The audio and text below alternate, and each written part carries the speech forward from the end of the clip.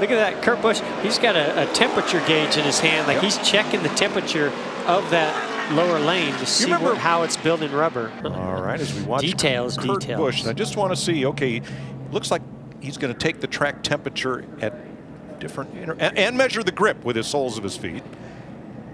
You can just see how much cleaner that surface is now than it was earlier. Yeah.